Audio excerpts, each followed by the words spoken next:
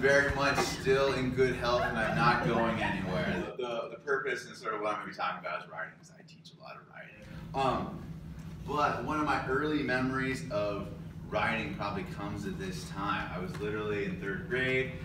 I think my teacher had asked us sort of to write about our favorite color. Early, another early memories, thinking of me, probably even before the, the Guns N' Roses shirt, uh, is uh, thinking about my grandmother in writing, who was a bit like the grandmother in Coco. Uh, she sometimes might have been trying, when trying to instill discipline, she might have done things that others might interpret as sort of punishment in some way. But a subtitle I thought of as I was putting this together, sort of I can think of like lessons for my sons through my father about writing. I'll throw the writing still in there.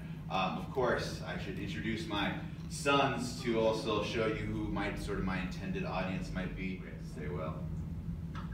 Writing is hard. All right, thank you. Well, that was my good old grandma trying to teach me to be a better writer was like, I want you to fill this page with your name in cursive, you know, which sounds like I guess discipline, but it also felt like punishment. Cause I also, but keeping the idea of writing is hard. I really did actually learn a lot from my father's example. These are actually pictures of uh, some of my father's writing. A lot of his stuff, like a lot of writers, he has a lot of unpublished stuff, you know, sitting there. And I think one of the reasons I like to still focus on the fact that like my father, who is not someone with any great writing success, the way I'm able to still think about it is because he really did love writing. And it's the way I think a lot of people love writing who don't necessarily identify as writers. And even as a writing teacher, I'm always trying to say like, yes, we all write. Like, yes, you can write it's good to write. So I think that's part of maybe the reason I still see some inspiration. Sort of thinking about when I was a kid, I would literally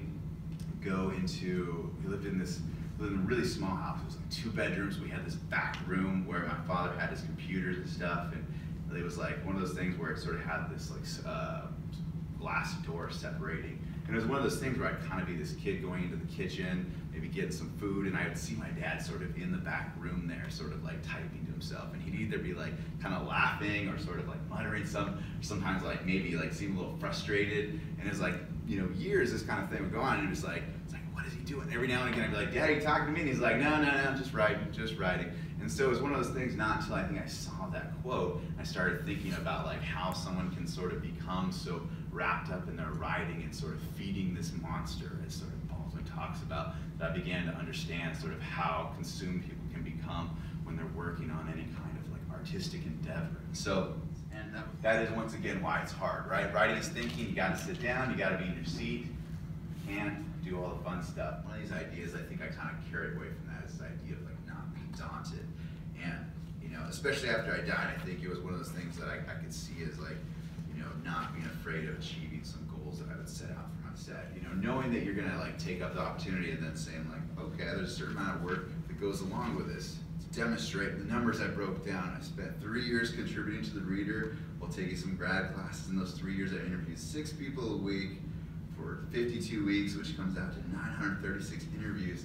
I put plus because I also did a cover story. I did two cover stories where I interviewed another 120 people between that. So um, I too have collected a good number of rejection letters. I think I think I created a I created what a, a boomerang. It doesn't really work very well because it doesn't go through all the pages there, but there are in fact some some of those that you can see there too. And I think if you see my door, it's covered actually in things either that like like that's a, that's my book right there. That's a collection that I'm in. It has all these things I've actually all my successes, and you know my wall I actually has some letters and things from editors because part of that whole thing of like you have to you know celebrate all your rejections and embrace the rejections, but you also have to celebrate your accomplishments too.